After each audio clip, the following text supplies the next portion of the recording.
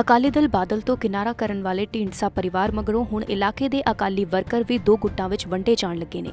ਪਿੰਡ ਤੋਲਾਵਾਲ ਦੇ ਅਕਾਲੀ ਵਰਕਰ ਢੀਂਡਸਾ ਪਰਿਵਾਰ ਦੀ ਪਿੱਠ ਤੇ ਆਣ ਖਲੋਤੇ ਨੇ।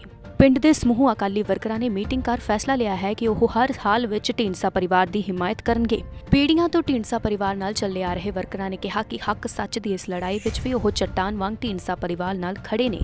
ਜੋ ਸਰਦਾਰ ਸੁਖਦੇਵ ਸਿੰਘ ਜੀ ਢੀਂਡਸਾ, ਸਰਦਾਰ ਪਰਮਿੰਦਰ ਸਿੰਘ ਜੀ ਢੀਂਡਸਾ ਜੋ ਵੀ ਉਹਨਾਂ ਨੇ ਸੰਵਿਧਾਨਕ ਤੌਰ ਤੇ ਲੜਾਈ ਲੜਨ ਦਾ ਪਰਨ ਲਿਆ ਅਸੀਂ ਉਹਨਾਂ ਦੇ ਨਾਲ ਸਾਰਾ ਪਿੰਡ ਤੇ ਸਾਰੀ ਜਥੇਬੰਦੀ ਪਿੰਡ ਦੀ ਜਾਂ ਜਿਹੜੇ ਕੋਈ ਲਵੇ ਲਾਉਣੇ ਜਿਹੜੇ ਵੀ ਪੰਚ ਸਰਪੰਚ ਜਿੰਨਾ ਵੀ ਸਹਿਯੋਗ ਬਣਦਾ ਹੈ ਉਹ ਦੇਵਾਂਗੇ।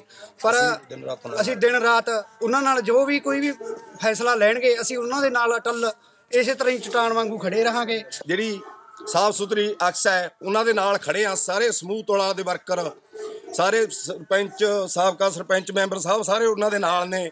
ਜਿਹੜੀ ਲੜਾਈ ਉਹਨਾਂ ਨੇ ਵਿੱਢੀ ਹੈ, ਅਸੀਂ ਉਹਨਾਂ ਦਾ ਬਹੁਤ ਚੰਗੀ ਤਰ੍ਹਾਂ ਡਟ ਕੇ ਸਾਥ ਦੇਵਾਂਗੇ। ਅਸੀਂ ਸ਼ੁਰੂ ਤੋਂ ਮੇਰਾ ਡੈਡੀ ਮਹਿੰਦਰ ਸਿੰਘ ਜਥੇਦਾਰ ਨਾਲ ਖੜੇ ਢੀਂਡ ਸਾਹਿਬ ਦੇ।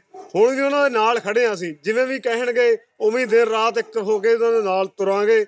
ਉਹਨਾਂ ਨੇ ਹੱਕ ਸੱਚ ਦੀ ਲੜਾਈ ਲੜੀ ਹੈ, ਠੀਕ ਹੈ। ਇਹ ਚੰਗੀ ਹੈ, ਮਤਲਬ ਸਾਰੇ ਸਮਾਜ ਵਾਸਤੇ ਚੰਗਾ ਹੈ।